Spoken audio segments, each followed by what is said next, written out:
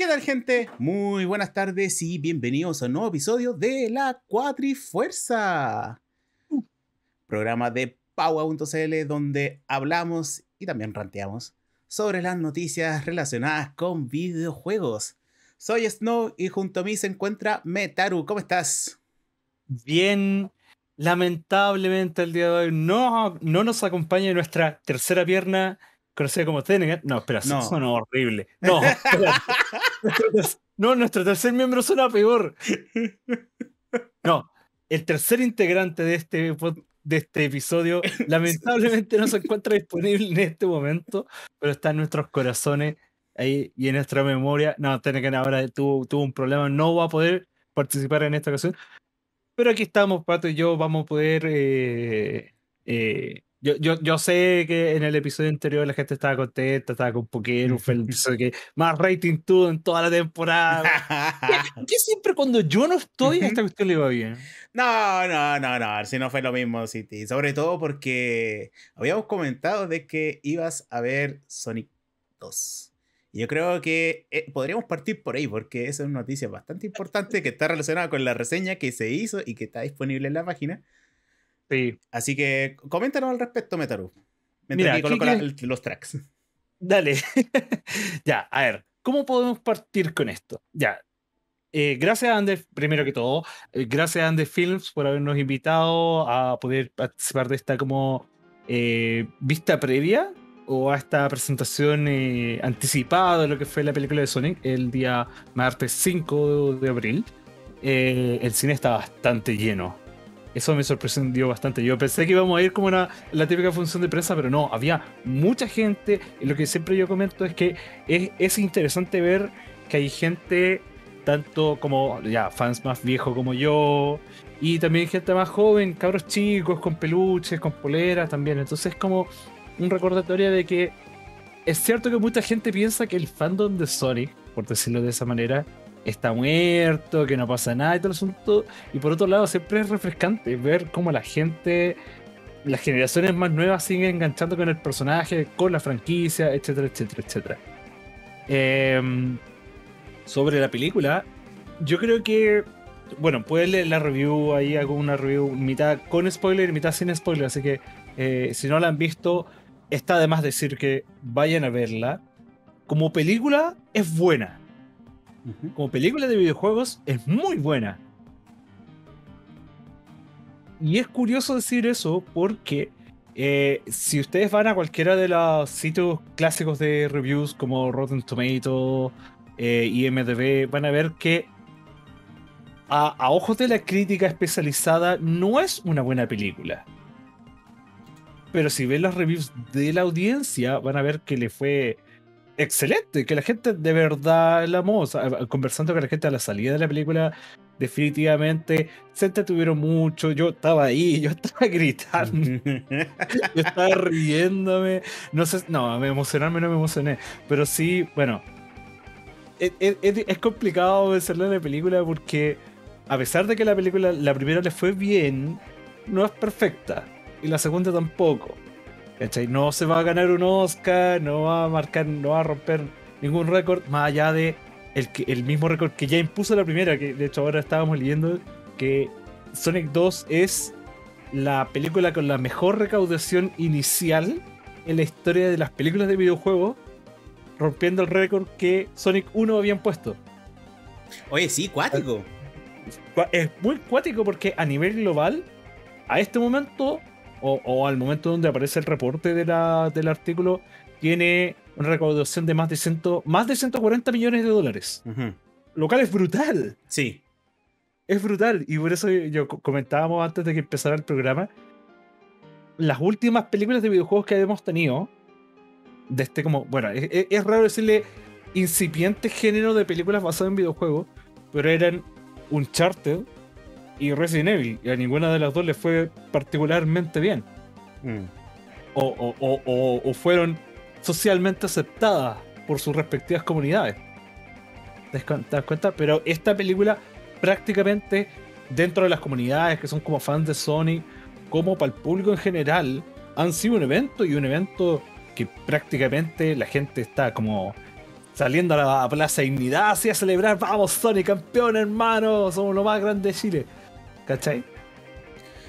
Sí, Entonces, e-, es muy cuática la recepción que tuvo con el público y yo creo que principalmente debe haber sido por la expectativa que se generó después de haber visto la una, de que fue una película sumamente eh, aclamada por el público y que inclusive eh, pudo haber sido reconocida.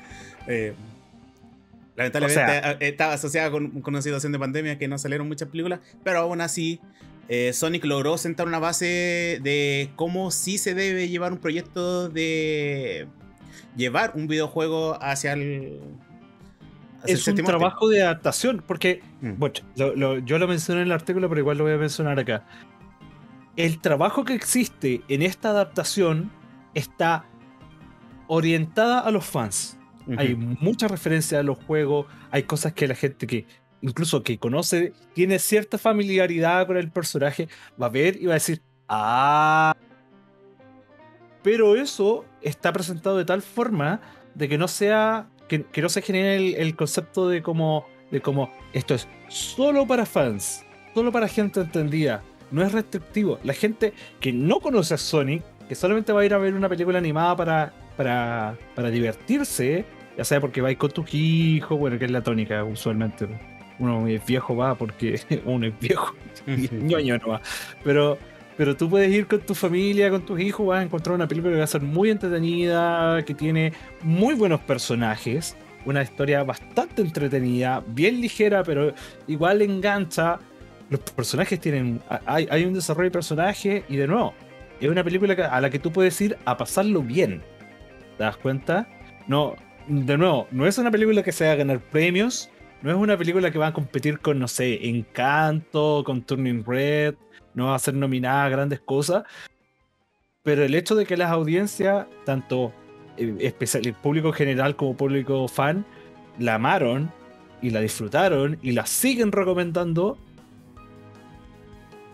es un hecho de que definitivamente es un muy buen producto y se agradece, y se agradece enormemente que sea un producto que se haga con ese nivel de compromiso.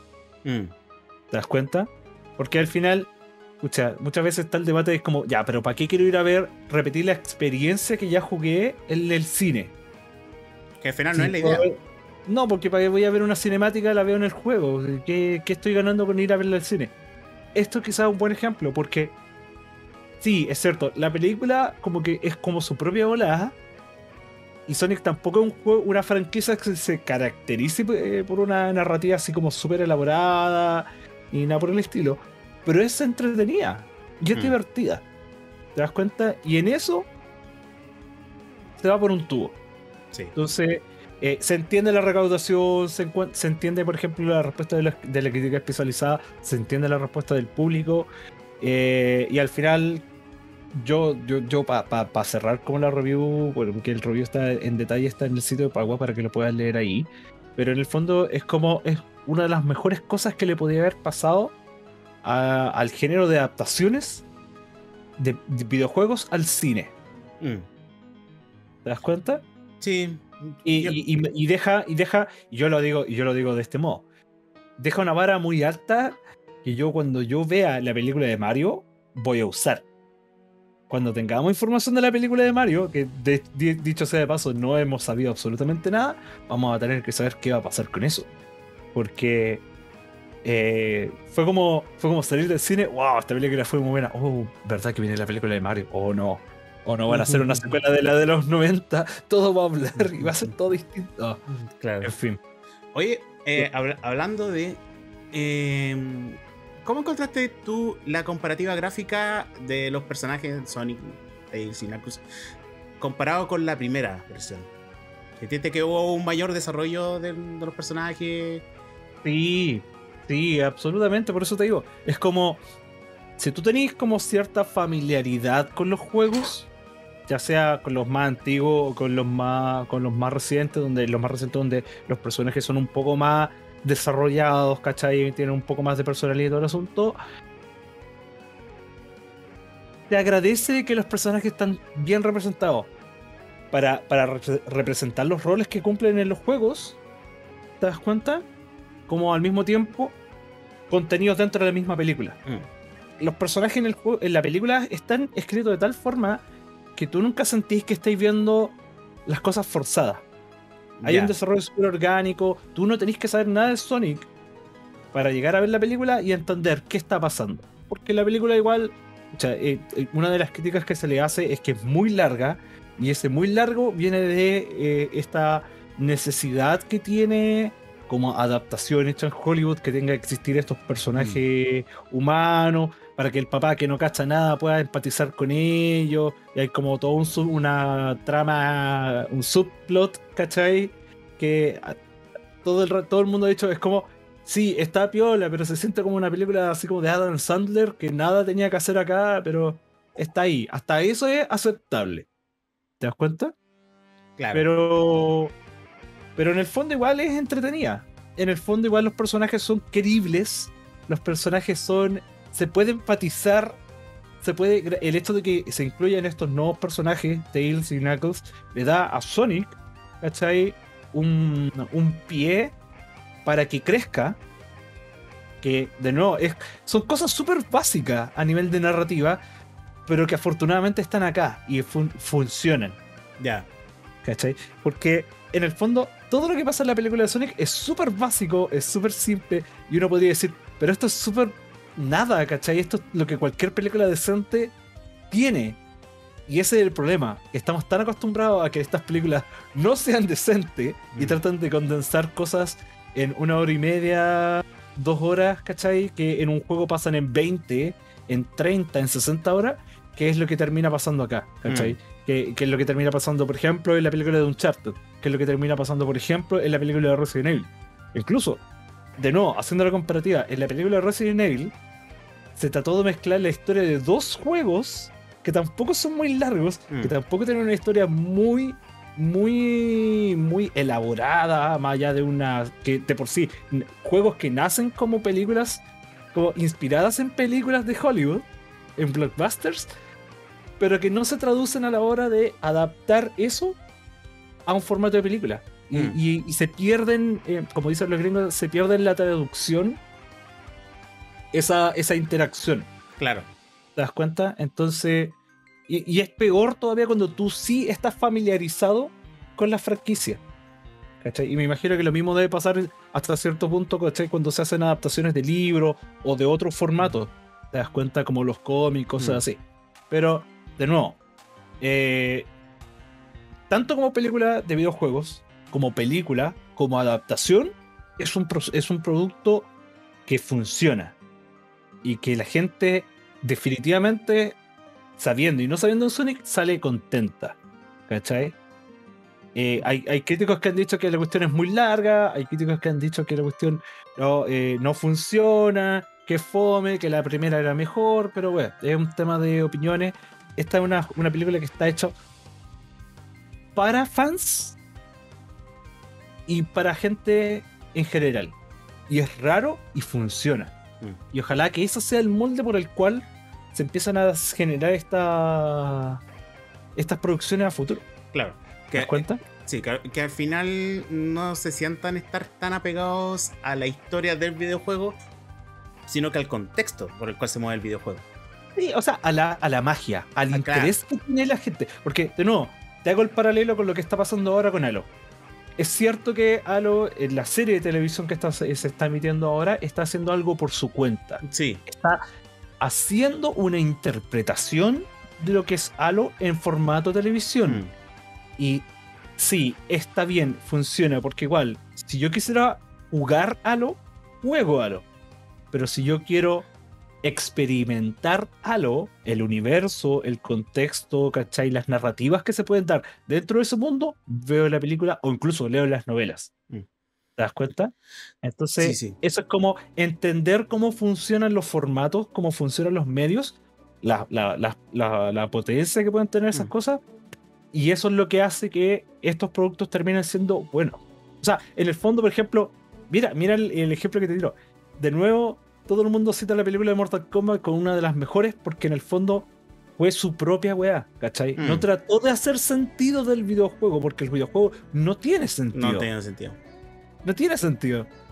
pero como película inspirada en eso, trató de darle una, un orden, ponerlos en una, en una línea de tiempo con un inicio, un desarrollo y un final, y por eso es disfrutable. Claro. Yo, yo, sí- yo- yo siento que perfectamente el Resident Evil quería, por ejemplo, mejor adaptada como serie. Ni siquiera una serie considerando los personajes principales, sino que centrado en, cómo está el universo de- con Umbrella. Claro, porque son todos estos videojuegos son todo o- a esta altura das cuenta todos los videojuegos o, o mejor digámoslo así, todas las franquicias son universos Mm. en los cuales tú puedes construir historias y la gente lo ha hecho por mucho tiempo a través de los fanfic, a través de los de los OC, ¿cachai? El mismo hecho que tú eh, a través del role playing, ¿te das cuenta? Claro. cuando una franquicia crece y te da un universo donde tú puedes trabajar y perfectamente generas un, un mundo donde tú puedes explorar y la gente de repente valora más que ese mundo se explore a través de una narrativa como lo es una serie o una película. Sí. Bueno, eh, ya nos pasamos y estuvimos bastante rato Eso. comentando al respecto. Así que si están interesados, chicos, pueden leer la reseña que se encuentra disponible en el sitio de paua.cl. Ahí Metaru le puso una nota bastante entretenida para que lo, lo revisen.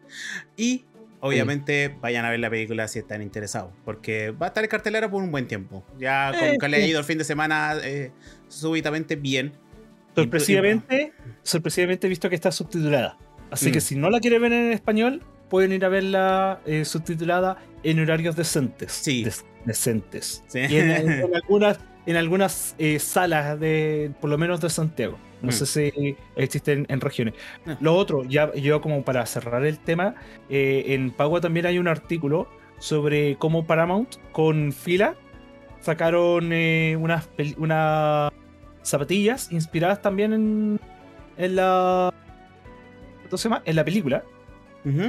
Eh, nunca he sido muy fan de esas como colaboraciones de zapatillas porque si tú voy a hacer algo de zapato, zapatos de Sonic, nunca se hacen zapatos de Sonic. Siempre tienen que hacer como diseños específicos, pero bueno, para la gente igual que le gusta ese tipo de cosas también pueden revisarlo. eh, no, no, no podría opinarlas porque tendría que comprármelas para hacerle una review y no puedo hacer- no estoy- no está la situación que- económica para hacerla. No, no, yo me voy feliz. con- ya, tengo planeado ir a verla de nuevo, pero bueno. Oye, eh, sigamos hablando Sí, de sí. mm, Sega. Sí, sí. Eh, lo único, eso sí, que va a quedar en la duda qué va a pasar con Sonic 3. Pero eso eh, Hay, otro hay una escena. hay- yo creo que sí se sabe. Yo, para la gente que vea la película va a saber porque hay una escena post créditos que. Y bueno, ya sabemos que hay una Sonic 3 confirmada. Ya sabemos, gracias a lo que pasa en la película, y hay una escena post créditos que nos confirma para dónde va la historia. Y qué, qué va a pasar en esa película, ya es harina de otro costal. Lo- le daremos algún día Sí. una, una especulación infinita, porque para eso hay para hablar eh, a, a- a morir. Lo que quizá eh, es curioso, que eh, eh, hablando de Sega, en general, ya descansándonos un poco de Sonic, eh, y vamos a entrar en, en, en- en términos más ya de videojuegos. Eh, hace poco, el sitio VGC, un sitio de, de noticias de videojuegos, tradujo una entrevista que se realizó a uno de los productores de Sega en el marco de todo este, pro- este proyecto que se llama Super Game que Sega anunció ya el año pasado eh, que en el fondo no dijeron mucho sobre qué se trataba pero que ahora finalmente se empezó a dar un poco de luz para, dónde iba la cosa. Cuál es que en el fondo es un plan que tiene Sega a 5 años y donde ellos planean invertir hasta 100 billones de yen, que son como unos 800 millones, casi 900 millones de dólares, Para desarrollar eh, distintos tipos de proyectos. Juegos, en el fondo. Ya.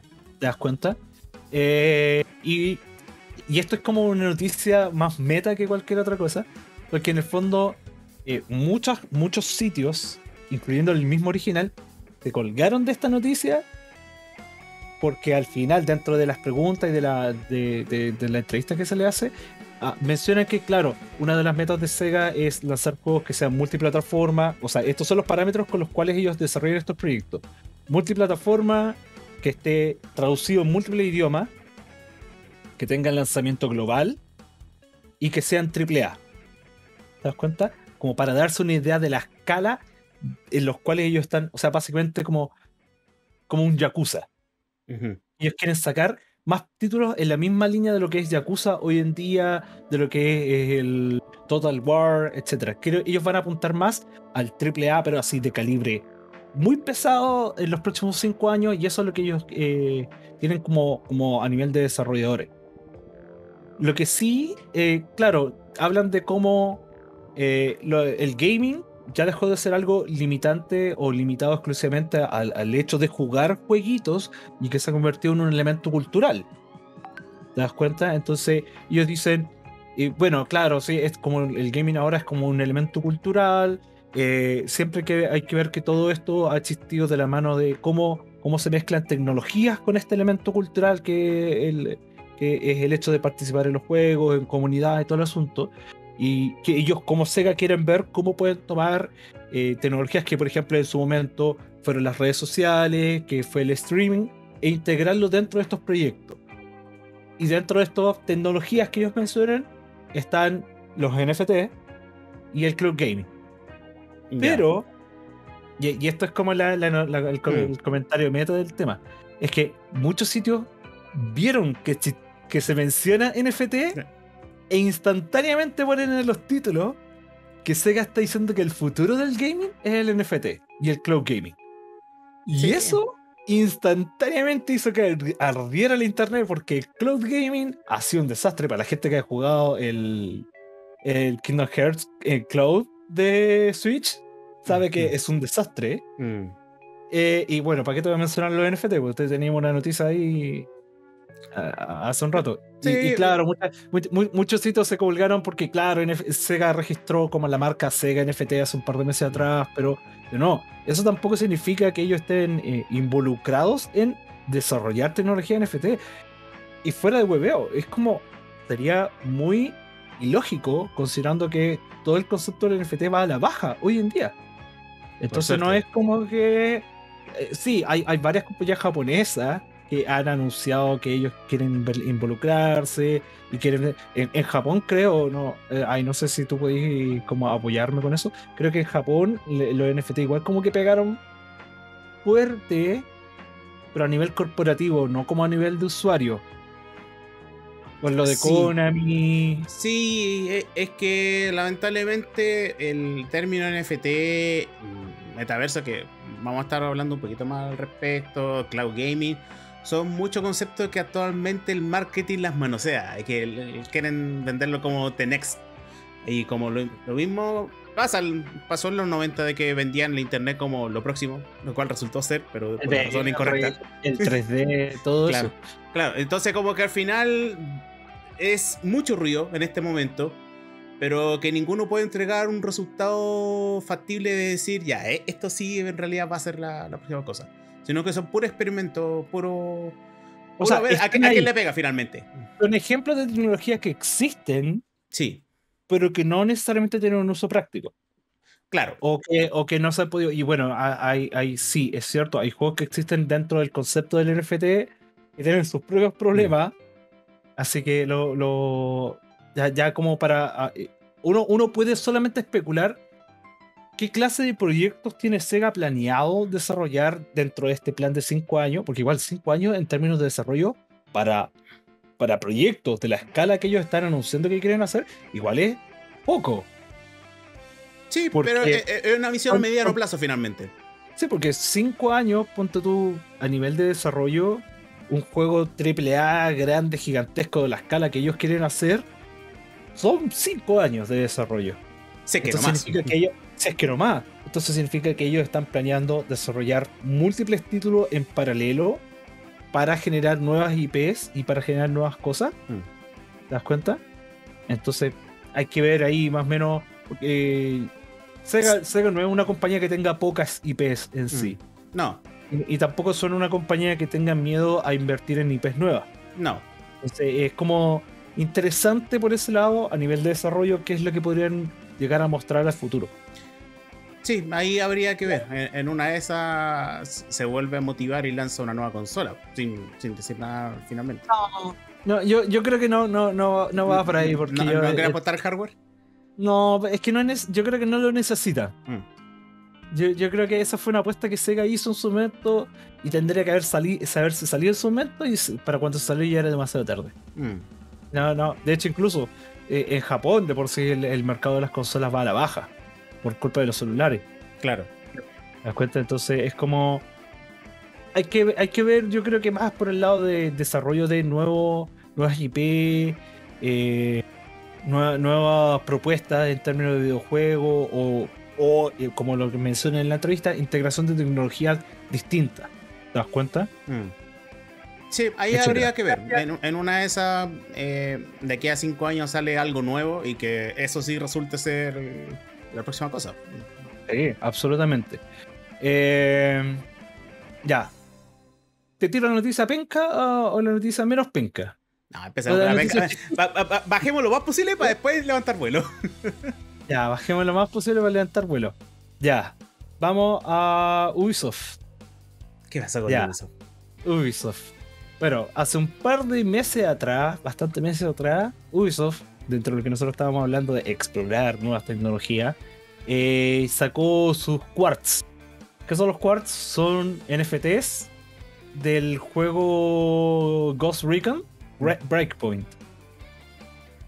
Eh, y básicamente era una colección de NFTs que aparecieron en el sitio. Eh, eh, dejar si lo podemos subir. Rarible.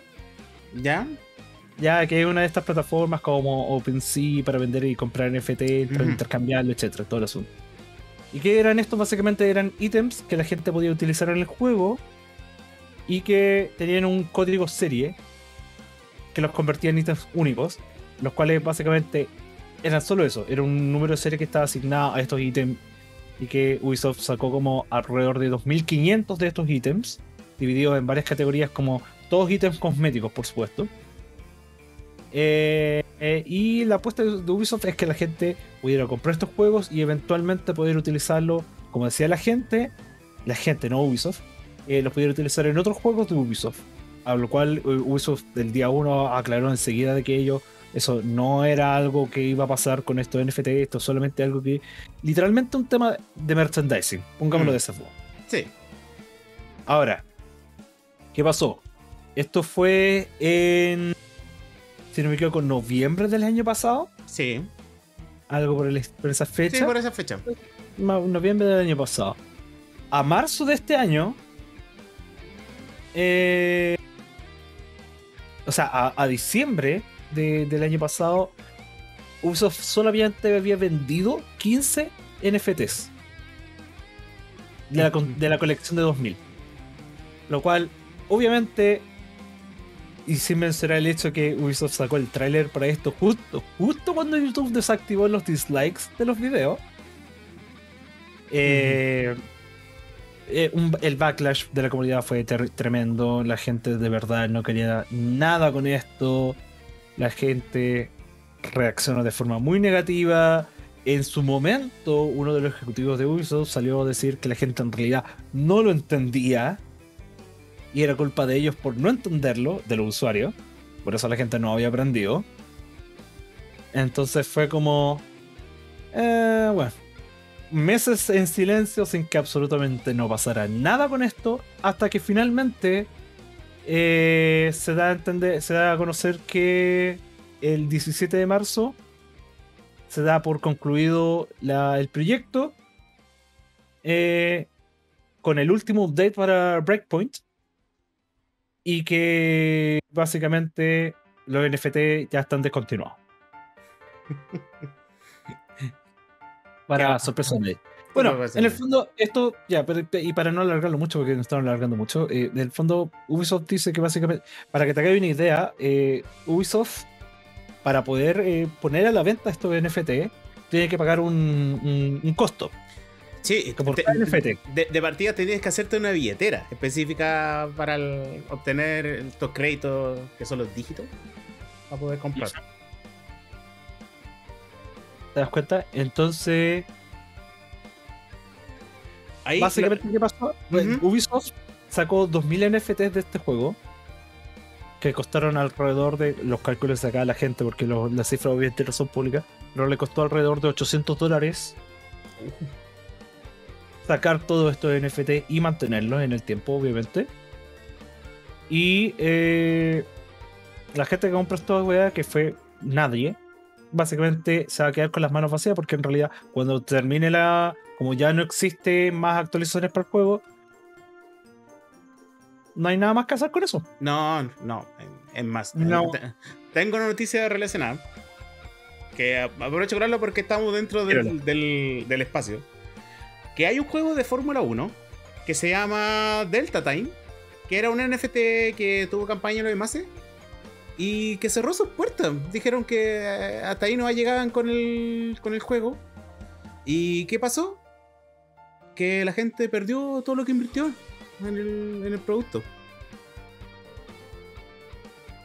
Así como sin más, no, no, tenemos ninguna garantía, sino que cerramos las puertas.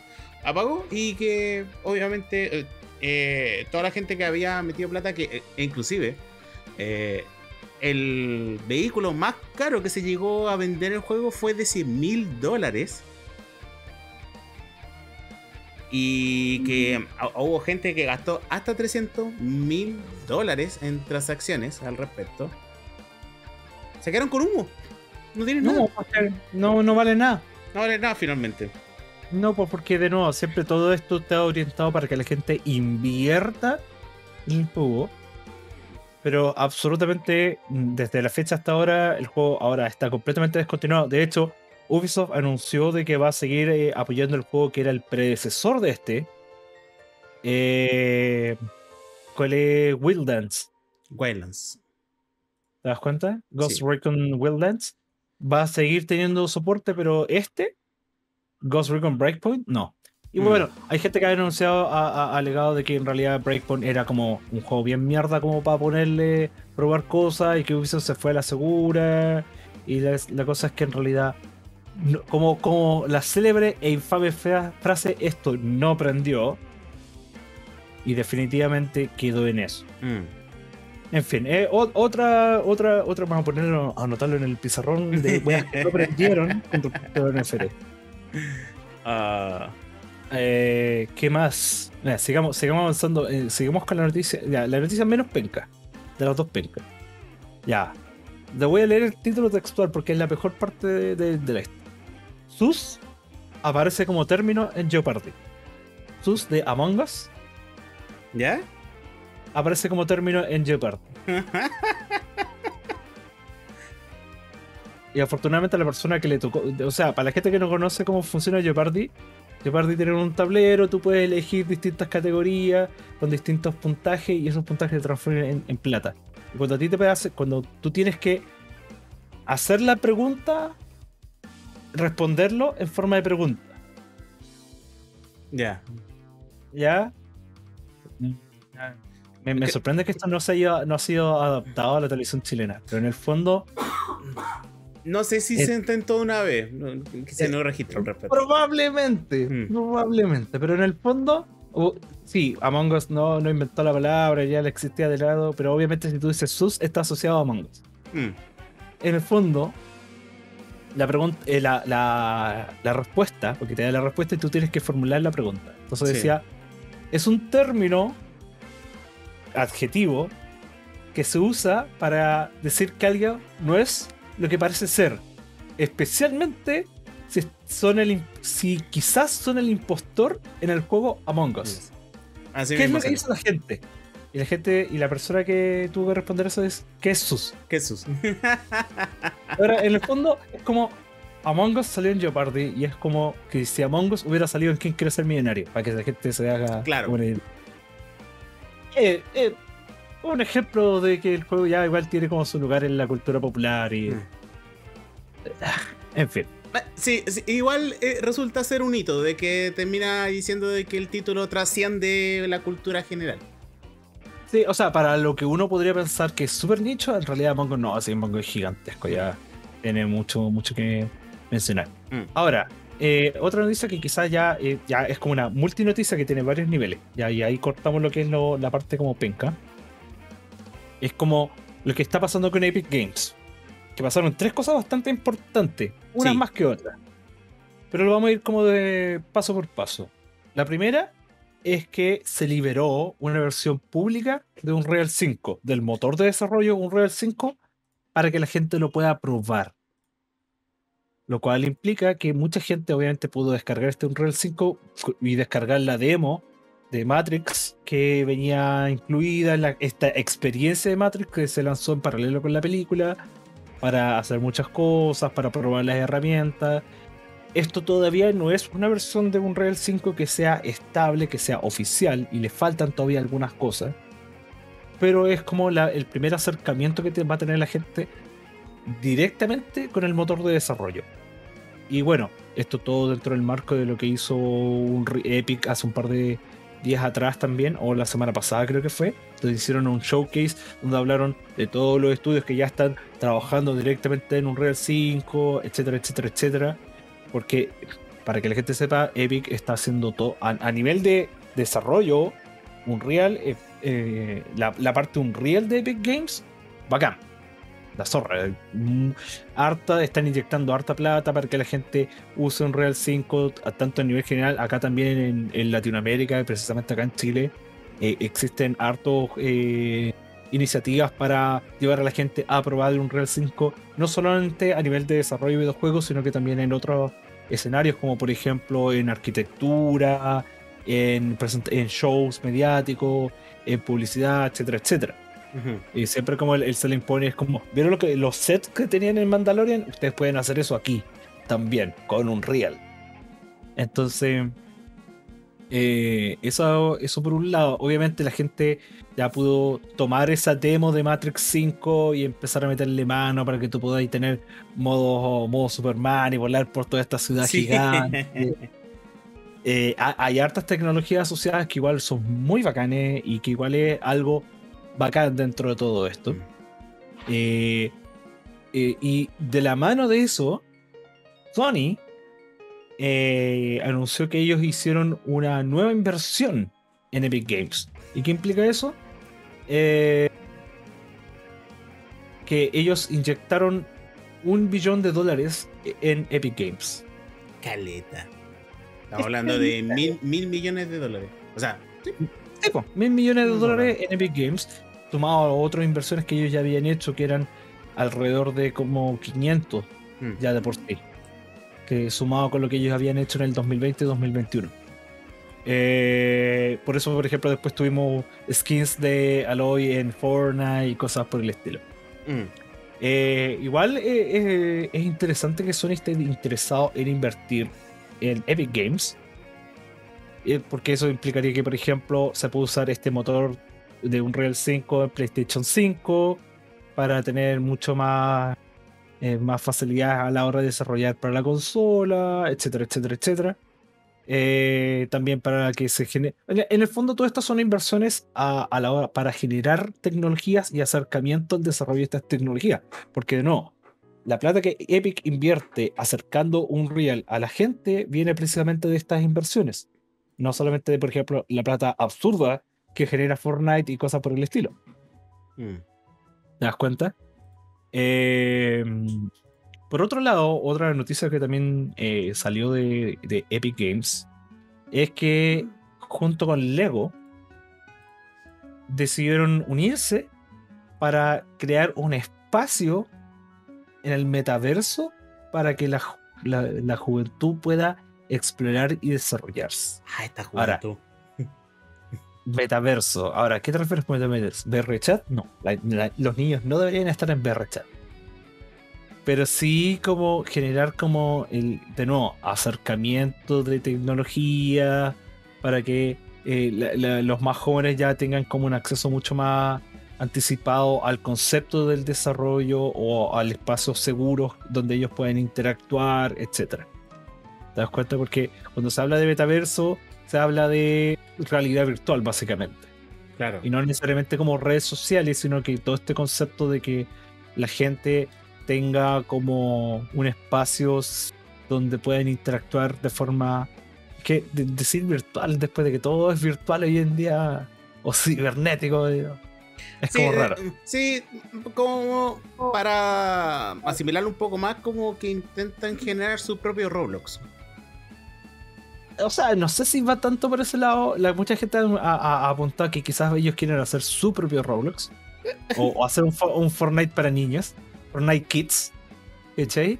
Pero en el fondo yo creo que es más por un tema de que ellos van a trabajar para que, bueno, lanzan tres statements, o sea, tres declaraciones Mm. dentro de este, esta iniciativa que es proteger la, el derecho de los niños para jugar, a jugar y eh, generándoles espacio seguro.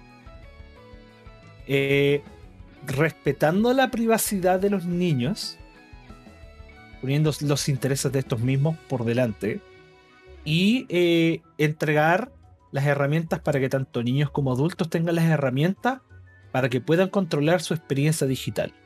Mm. ¿Te das cuenta? Esto va como de la mano de lo que busca la UNICEF dentro- como para poder eh, como regular cómo es la interacción de los niños en este, bueno, en estas nuevas interacciones digitales que existen hoy en día. Y en el fondo, en realidad, yo creo que esto es solamente VR. Eh, Fina- sí, fin- no, no apunta a nada, no dice no, nada. No. No, no implica que ellos van a hacer un Suena, Roblox. suena al final bonitas palabras para llegar a decir vamos a hacer un VR de Lego. Sí, algo por el estilo, ¿te das Mm. cuenta? O, o, o- o pu- o empujar políticas que vayan a- en, en pos de que, por Sí. ejemplo, lo- no, no existan. Yo, yo creo que va más por un lado de que tratar de evitar, evitar que no existan eh, políticas eh, de- depredativas en contra de los niños, como lo que pasa quizá en Fortnite Mm, eh, y cosas por el estilo, ¿te das cuenta? ya. Pero es como. Ya. Pero eso es, es como parte del statement que hace un Real con Lego. Y obviamente Lego pone la cara y un Real pone el espacio. Mm. De nuevo. Sí. Yo creo que ahí vamos a ver a futuro qué es lo que va a resultar ser esta, esta asociación y también la respecto de Sony. Sí. Sí, porque en realidad también, de nuevo, es como el desarrollo de nuevas tecnologías es bacán, pero también implica el acercamiento de las personas y los desarrolladores y la gente en general a esta tecnología. Y se puede avanzar mucho en estas tecnologías, pero lamentablemente, bueno, estamos en los últimos dos años donde han habido problemas de logística para poder precisamente obtener el hardware necesario para poder trabajar en esta tecnología. Entonces es, tan complicado y es tan fome, pero al final todo se resume en que plata. Sí. No, y, y siento de que actualmente el VR va bastante a la baja de demanda todavía. Y el VR yo creo que va a pasar un tiempo que va a ser muy bajo perfil hasta que vuelva a resurgir otra iniciativa que diga, ya, ahora sí el VR va a ser el futuro. Como ha sido la tónica de estos 50 años de VR. Mira, es chistoso, es chistoso que mencione el VR, el VR porque piensa que eh, cuando por ejemplo aumentamos la noticia de Sega, ellos hablan de tecnologías que se podrían integrar dentro del mundo del gaming. Y mencionan los NFT, y mencionan cloud gaming, pero no mencionan el VR. Porque, de nuevo, el VR es una tecnología que existe, que está en desarrollo, pero todavía es prohibitiva. Mm. Claro, no, no- no tiene ese nivel de inmersión que uno espera cuando le dicen VR todavía. O sea, es que en realidad, más que por inversión, es porque es, es- no está al alcance de todo el mundo como si lo es, por ejemplo, comprarse una Play 5. ¿Cachai? O quizás un PS, un PSVR 2, que sí sería algo que mucha gente podría alcanzar o Mm. a experimentar. Sí. Ya, ya- llegaremos al año de que finalmente Sao con con la injerta aquí en la nuca sea una No, realidad y- digamos, no. llegamos muy lejos para hacer esto. Solo, solo quiero, solo quiero que me atropelle el camión Kun para ir al mundo el donde puedo hacer lo que yo quiera. cuando, cuando el camión se vuelve un Isekai. Cuando el único Isekai en el que estáis es que tú manejáis el camión. Ya, en fin.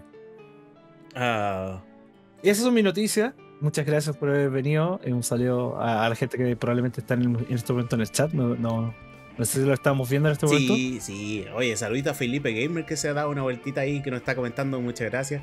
A la Fuani que se encuentra también comentando. A Pau Acele que encuentra respondiendo a todas las consultas que realicen. Y bueno, sigamos Pato. con las noticias. Sigamos, sigamos. Oye, Sigamos, Este, oye. además, alegra- oye, Sí. se nota la falta del Tenecan. el, el- el ahí el Tenecan era el que cargaba todas las partes happy. Y nosotros lo tiramos para abajo. Ahora al revés. Tenemos que tirarnos para arriba entre todos. Ya, cuéntame. bueno. ¿Qué tenéis, Pato? ¿Qué tenéis? Bueno, bueno, partamos con las noticias editoriales. Eh, hay que mencionar de que la semana pasada mencionamos de que Paua fue invitado a la apertura de FestiGame. Y tenemos una entrevista que realizamos a Sebastián Rojas, director asociado y dueño de Monkey Producciones, que, está, que es la productora que está a cargo del evento. Así que pueden visitar en nuestro canal de YouTube el, el video que se encuentra disponible. Lo dejamos también en la nota asociada que realizamos sobre FestiGame. Para que lo revisen. También debo anunciar de que finalmente, luego de varias semanas de esfuerzo, en realidad fue la semana pasada, pero fue harto esfuerzo, tenemos todos los capítulos disponibles de la Cuatrifuerza. Así que ahora sí estaremos eh, poniéndolo al día y que estaremos publicando dentro de la misma semana todos los capítulos. Eh, ah, también pueden revisar ahí la- lo que fue la semana pasada con la actividad de Pokirus. Y hablando de Pokirus, se realizó el concierto el día viernes, en el cual estuvimos presentes y que estuvo no solamente Pokirus presentándose, sino que también eh, Polystation, que le mandamos saluditos a los chicos. Y estuvo bastante entretenido. Fue bastante eh, interesante la presentación de Polystation, en el cual parte de la performance ellos realizan una presentación en vivo con alguien jugando Mega Man. Mega Man 2 específicamente. Ah, piola. Entonces, ahí sumamente entretenido eh, eh, ver cómo el, eh, justamente el, el chico intenta superar toda la etapa y que obviamente también cuando pierden le hacen los efectos de sonido y tienen que volver a tocar el tema. Pero muy entretenida la, la dinámica y eh, fue la primera vez que se presentaban en Santiago. Así que ahí le mandamos saluditos y que obviamente Pokeru presentó todo lo que está dentro de su repertorio actual con, con la banda. Y que además de eso, eh, ya está presentando algunos temas que va a estar en su próximo disco. Así que ahí si tienen la oportunidad de escucharlo. Se va a estar presentando, todavía no otorga la fecha oficial, pero dentro de la semana del 27 de abril. Ahí va, hay que ver si que el, 20 el 28 el 29 parece que se va a estar re- realizando la presentación. Y que también va a estar Tenecan. Así que ahí la próxima semana le vamos a preguntar más al respecto, más detallitos. Que Suelta los detalles, toque. Sí, y a ver si nos juntamos. Ah, es que lo extrañamos tanto. Si estás ahí, Tenecan, mándanos una señal. Pestañea dos veces. y, y ojalá traiga chocolate. Y traiga chocolate. Oh, Está muy bueno el chocolate. ah, bueno, chocolate. Sí. Eh, otras noticias eh, editoriales. También en nuestro sitio tenemos publicado la noticia de que finalmente llegó la actualización de Metroid. Que la habíamos mencionado y que dentro de, las novedades se encuentran dos nuevos modos de juego. Que está el, el modo fácil para la gente que no sabe jugar. El modo prensa, como le habíamos puesto. el modo prensa que Modo- le habíamos dicho. modo canon. Cabo. Y el, el Dreadbow, que es la dificultad más difícil de juego porque eh, tiene solamente un toque para morir. Y que todos los upgrades son. son ¿Cómo se llama? Eh, son sumamente costosos, son dificultosos, así que. Para la gente que está disfrutando el juego, eh, ahí tienen la nueva experiencia, a ver si es que logra realizarlo.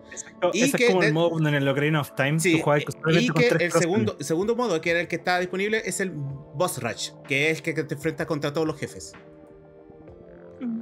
Igual, ellos, eh, Nintendo tiene anunciado que van a haber más actualizaciones para el juego. Por ahora no. No hay, no hay nada. Esto es no. como After. Sí, esto era dentro de las actualizaciones gratuitas que habían prometido.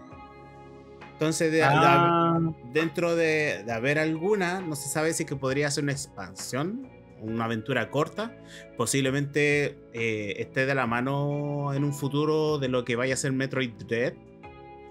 O sea, Metroid eh, Prime 4, pero no se sabe. O a lo mejor sacan el modo, sacan el modo donde juegues como todo el mapa, pero al revés. También. Ahí habría que ver. claro. modo Symphony Internet. Pero sí, ahí vamos a ver más al respecto de lo que tenga novedades Nintendo. Yo creo que de haber algún anuncio lo va a realizar durante la E3.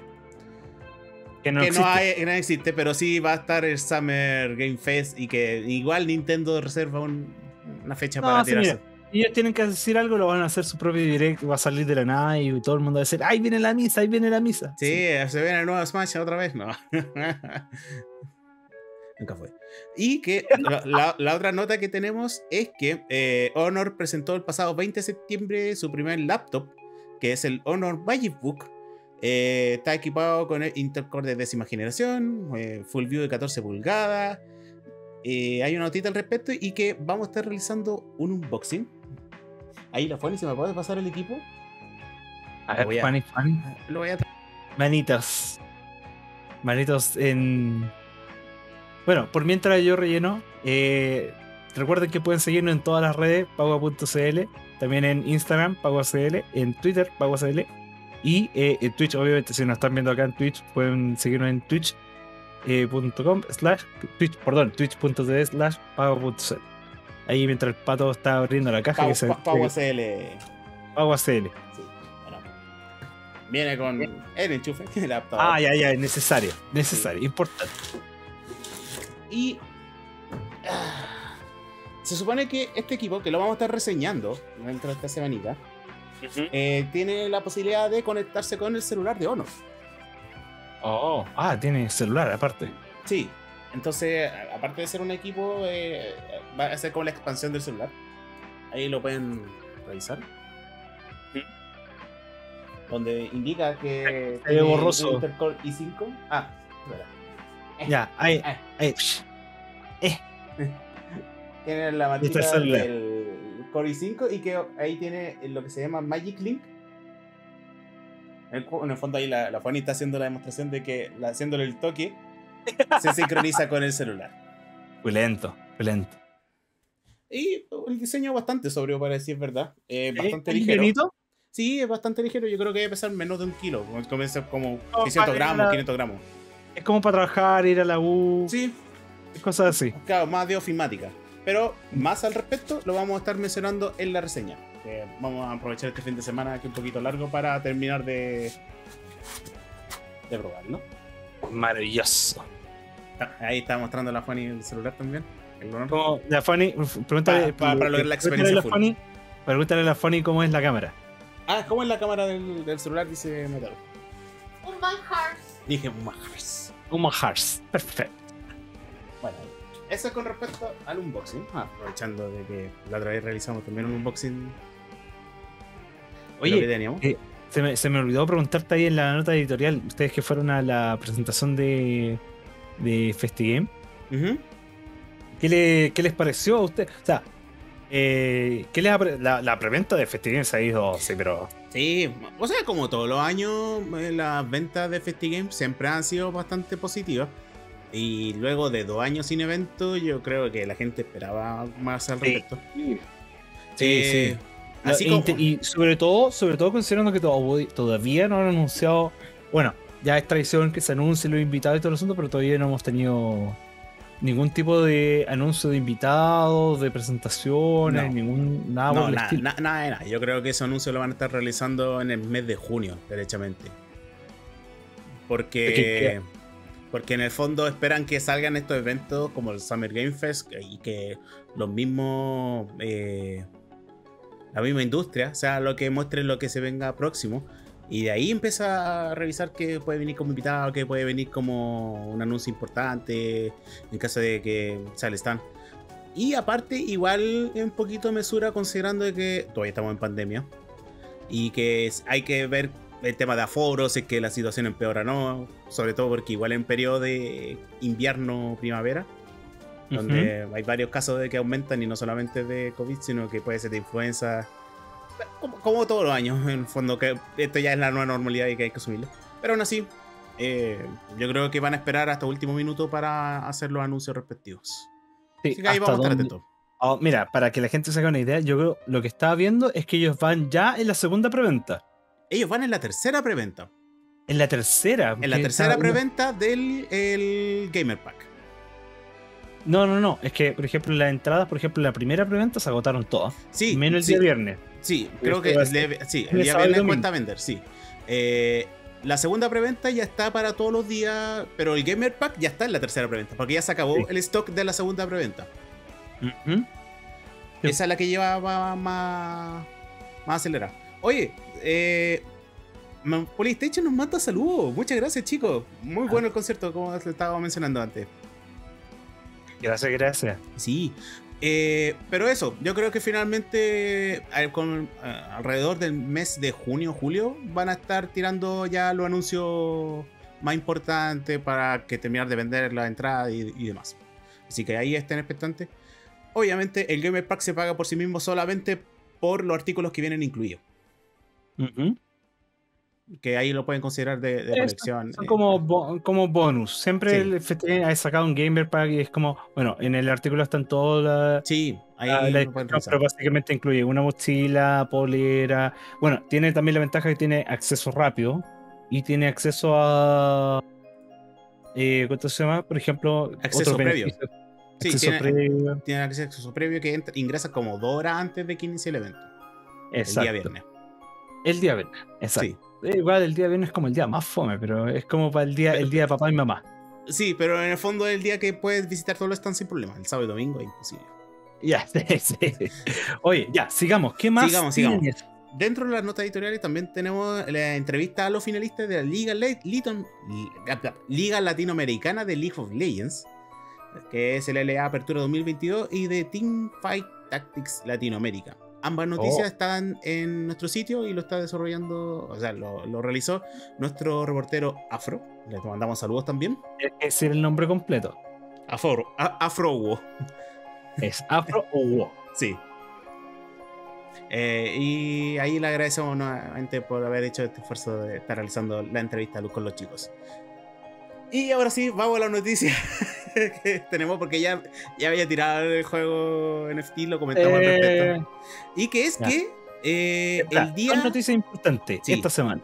Sí. Una, El día domingo se realizó una presentación de Kingdom Hearts relacionado con el 20 aniversario y en el cual realizaron diversos anuncios entre ellos que están desarrollando un título eh, se podría decir para móviles pero que es más como un spin-off de de lo que ya son la, la saga es más 2D al respecto, como esta visual de.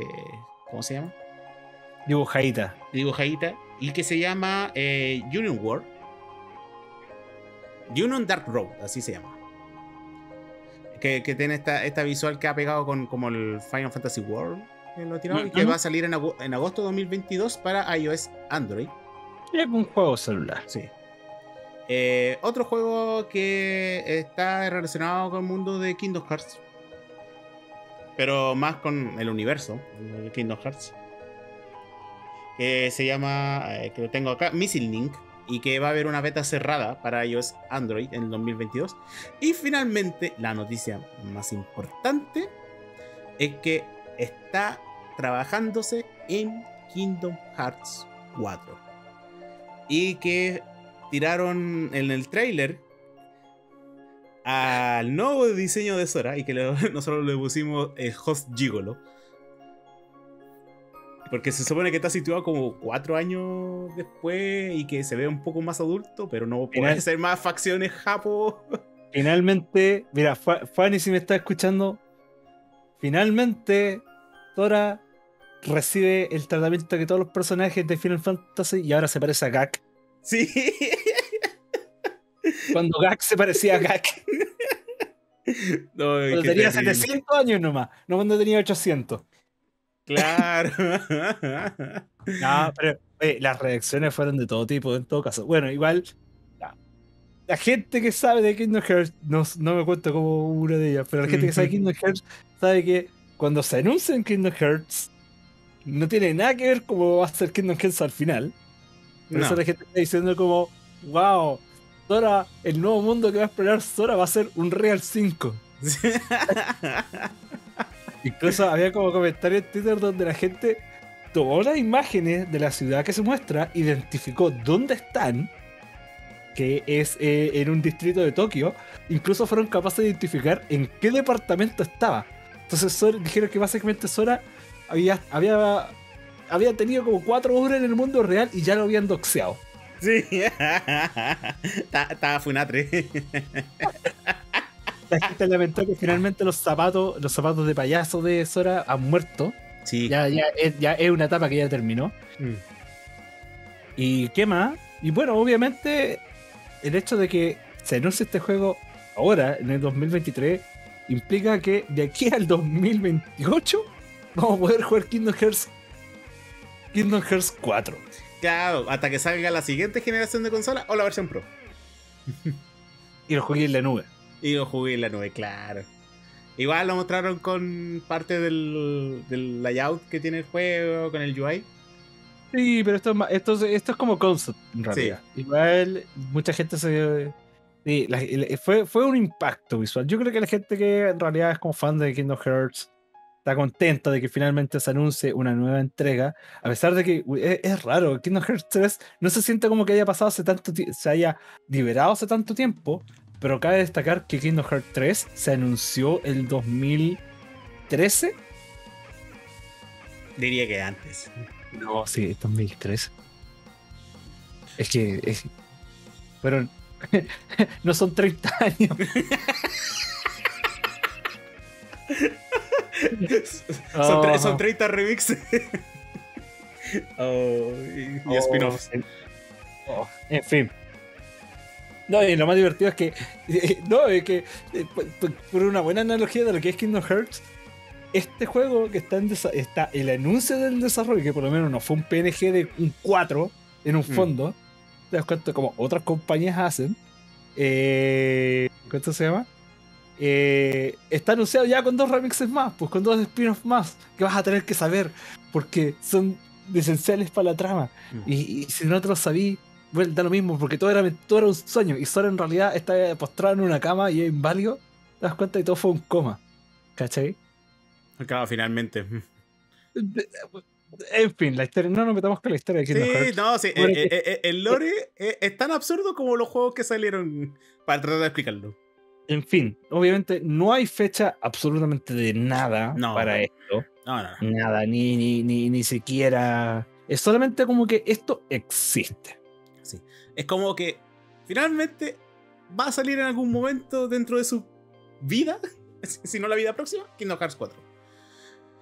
Sé que no lo cancelan, pero eh, da, esperan- da esperanza de que el título salga a la luz dentro de los próximos 5 años. En fin. De hecho, ahora que me acuerdo, el Kingdom Hearts 3 como que se estuvo retrasando un poco porque entre medio salió el remake de Final Fantasy VII. Sí. Entonces ahora va a salir la segunda parte del remake de Final Fantasy VII y de nuevo se va a- Sí. ¡Ah! A- Ahora, en la gran apuesta, ¿qué sale primero? Final Bueno. 7, ¿no? Kingdom Hearts 4 se anunció antes que. sí, Así que va ganando. va ganando. Y atrás pica el indio. Aún así, eh, sí, fue harto tiempo que había pasado entre que se había anunciado el 2 y el 3. Eh, para que mostrara un tráiler de que ya está el concepto por lo menos. pasó menos tiempo de- del trailer 4. Yo creo que muchos fans están con, con- con cara de duda de que ya, ya lo tenían planificado de antes. Eh, o sea, Eh, hasta donde yo sé, este es el inicio de un nuevo arco. Porque el Mm. 3 cerró un arco. cerró, claro. un nuevo. ¿Te das cuenta? Esto, mira, en los últimos tres fueron como la saga de Skywalker. Claro. Ahora sí, ahora viene el 4 y es otra saga nueva. Porque Oye, queda una historia sí. que contar. Aún así, ya están corriendo rumores de que el universo de Star Wars va a estar en este próximo juego de Kingdom Hearts. Porque Disney. Porque Disney. Porque Disney. Vamos a ver un Star superhéroe en Marvel. ña, ña, Posi- ña. sí, posiblemente. ña, ña, ña. Ña, ña, ña. Finalmente, Kingdom Hearts va a ser un Isekai. Sí, se cae, no, se cae. Auxilio, basta. En fin. ya. Bueno, ¿Qué más tienes? Hubo, hubo otro gran anuncio también en esta semana. sí, de que Rockstar Games liberó un comunicado indicando de que va a estar trabajando en el remake de Max Payne 1 y Max Payne 2 con la gente de Remedy. Que eh, principalmente, eh, si no son el mismo equipo que tuvo en desarrollo, pero va a tratar de tener la mayor cantidad de gente que sí estuvo integrado dentro de Max Payne 1 y 2. No así del 3, que posiblemente también esté dentro del trabajo, pero la gente no quiere mucho Max Payne 3. Recuerda más los clásicos 1 y 2. Y eh, va a estar más con el equipo que estuvo en Control. El, el team original. Sí. Y eh, esperan que el título salga dentro del, del próximo año, más que nada para celebrar el tiempo que salió el, el título. Y que es Eso bastante recordado, porque es la primera vez que podíamos gozar de un título a lo Matrix con el Stop Motion. O sea, eh, Max O sea, Payne el 1 y estilo 2 mucho. son, son, son juegos que están muy arriba en, en términos de, de influencia y de juegos de acción a nivel de narrativa. La película nunca pasó y...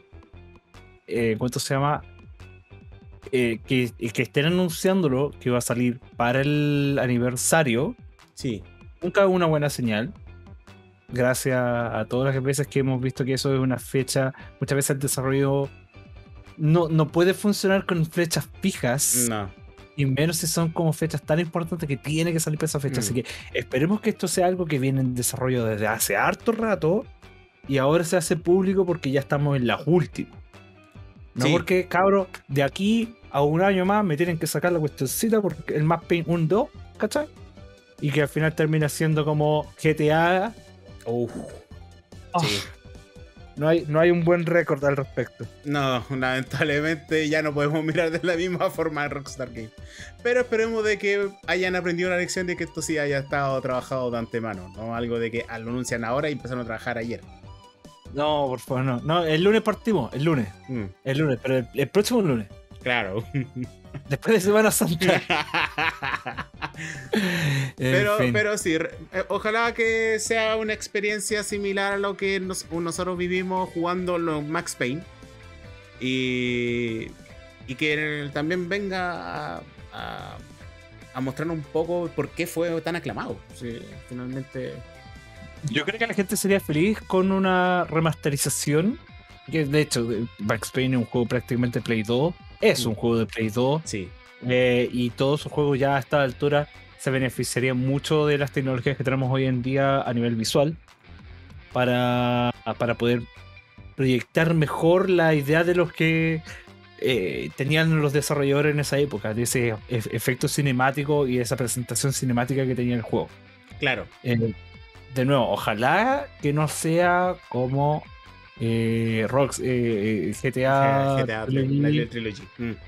que no se vayan por ese lado. Así que a, a esperar a ver. De nuevo, Sí. siempre la misma frase siempre, a esperar a ver. Sí, ahí yo creo que dentro de finales de año ya vamos a tener un poco más de noticias al respecto. Vamos a mostrar un tráiler, por lo menos más. Con un, un tráiler trabajado. todas las Mm.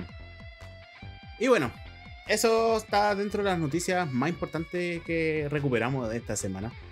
El- Aquí dice que aparte del tremendo tema que tiene el juego en Max Payne. Sí, sí, ¿no? Eh, Absolutamente. Oye, y otras cosas también que pasaron esta semana, ya como para bajarlo para el tintero. Sí, Salió este remake de Chrono Cross que habían anunciado, que era el Radical Dreamer. y Eh, Seneca lo estuvo jugando en el stream hace un par de días atrás. Claro. Eh, ahí va- vamos a consultarle la próxima semana a Tenecan su experiencia. Pero de por sí la gente no está muy contenta con el, el resultado. Es que la gente esperaba más y fue como, pero ahí está, esto es lo que querían, un relanzamiento con mejores texturas. Pum, listo. Es más, los Eso desarrolladores estaban diciendo de que eh, es todo lo que haremos. Ahí Eh, dice. claro. Eh, ya habían dicho de que ellos intentaban, como eh, era un relanzamiento, tratar de alterar lo menos posible el- la intención original del juego. Si hubiera sido un remaster, hubiera dicho "Pf, todo lo que queramos, pero estamos Y de limitados. nuevo pone sobre la mesa la gente diciendo, pero ¿por qué todavía no se puede tener un remake, un relanzamiento de Chrono, de Chrono Trigger? Y porque muy probablemente hay magia arcana con licencias y todo tipo de horribles trámites legales que impiden que ese juego vuelva a ser lanzado o incluso remasterizado de alguna forma. Sí, Porque, Sí. eh, eh. sí. Y además dijeron de que relacionado con Chrono Cross, eh, después de esto, no hay más. Bueno, No hay más. No, porque por eso, por eso es como que se lanzó directamente el Yo creo que Chrono Cross es más de Square Enix, tiene más control Square Enix sobre Chrono Cross que Chrono Trigger, así que Sí. yo, yo eh, oye, otro lanzamiento que tuvo, importante esta semana fue el, el, el remake de The House of the Dead. Oh, sí. Lo había, Estuvo- lo- lo- lo había perdido en el tintero. Sí, el relanzamiento de House of the Dead también, eh, juego clásico de los arcades de Sega y tiene todo este overhaul visual. No sé cómo se juega en Switch en realidad. Yo creo que se jugará con los, Con los los Joy-Con. Mm. Ya, pero en fin. Eh, ¿Qué más? ¿Qué más hubo en el tintero? Ay, bueno, lo que estábamos hablando fuera de pauta es como que lo que la gente estaba diciendo sobre el leak que hubo de juegos de Nvidia del año pasado. Ujú. Kingdom Hearts 4 era parte de ese leak. Entonces, de nuevo, es como hay que prestarle de nuevo atención a esa lista. ¿Qué más hay ahí que, que se haya anunciado? Porque nosotros, incluso, nosotros en su momento también hablamos de algunas cosas que salen ahí mencionadas. Sí, Como por ejemplo, un, un Legacy of Kain eh, remasterizado, un nuevo Quake remasterizado, en fin. Sí, ahí hay que revisar bien esa, esa base de datos que se filtró correctamente. Entre ellos también el tema de que. eh, o sea, el- Nvidia estaba trabajando en un nuevo chipset para Nintendo. O sí, la, la Nintendo Switch 2.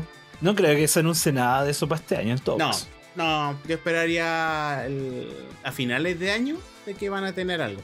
Y es Sí. muy posible de que eso esté de la mano de por qué se retrasó el Breath of the Wild. Oh, es una muy buena. Es una muy buena. eh, es una muy buena opción de parte de Nintendo dejar el Breath of the Wild 2 para eso. Sí, Para justa- Nintendo Switch. Considerando de que el Breath of the Wild 1 también sufrió retraso porque ya estaba terminando el ciclo de vida de la Wii U y querían lanzar la Nintendo Switch. Y fue una decisión que literalmente les vendió consola. Sí, definitivamente. Absolutamente. Así que así, eso. así que Oye. eh, jugar seguro, yo creo. Pato, estamos listos. Sí, estamos listos, no- ya nos pasamos. Pensaba de que no nos iba a pasar. No, teníamos igual harto que comentar al respecto. Sí. Comentario que no hubiéramos retrasado aún más. Oye, saludito al Tenecan, ahí lo vamos a estar eh, hablando la próxima semana. Lo, lo vamos a editar después acá entre medio. Claro, Como esas fotos de graduación. sticker. La foto de graduación. Acá, ahí, ahí va a estar el Tenecan. Sí. Ahí. Oye, saluditos a todos los que se dieron una vueltita a través de Twitch. Recuerden que estamos saliendo los días lunes a las 7 de la tarde. Y No que. Sí, no horario. Y que dentro de la semana va a estar publicándose, ahora sí que sí, el capítulo en YouTube. Para que lo puedan ahí comentar y volver a revivir estos momentos maravillosos junto a nosotros. Recuerden también que todo lo que eh, estamos hablando sobre noticias de pauta y más eh, lo pueden encontrar en nuestro sitio www.paua.cl donde ahí pueden encontrar la reseña que hizo Metaru de Sonic y muchos detalles más. También las reseñas que estamos realizando los equipos, por ejemplo el de Honor que mostramos, el del Solocast que está en, proceso y que también tuvimos la oportunidad de estar con el programa en la Cuatrifuerza probándolo. Y muchos detalles más podrán encontrar en nuestro sitio. En, nos pueden encontrar en nuestras redes sociales como paua.cl o pauacl, dependiendo de la red social. Nos pueden encontrar en Facebook, en Instagram, en Twitch, obviamente, en YouTube y en Twitter. Metaru, ¿dónde te podemos Bien. encontrar? A mí, ojalá en mi casa, pero si no estoy en mi casa, me pueden hablar en eh, arroba metarupx en todos lados. Sí, y obviamente a, Tenecan lo pueden encontrar como a Tenecan en todas las redes sociales. No, no como a, a Tenecan, sino que Tenecan, arroba Tenecan Arroba a, sí, a- a Tenecan. Arroba. Sí. Y ahí pueden encontrar detalles porque creo que eh, hace unos días atrás lanzó un nuevo tema relacionado con personas. Ah, para que lo puedan escuchar. Está bastante bueno. Y ahí nos va a contar la próxima semana más detalles con respecto al próximo concierto que, que se viene. La fecha yo creo que la va a dar oficialmente él. Si no, ahí lo vamos a estar averiguando dentro de las redes. Pero va a estar Para el- disponible. Es la exclusiva. Sí, vamos a tener la exclusiva. Así que eso, chicos. Nos estamos viendo la próxima semana. Cuídense. Estamos hablando. Chau, chau. Ey.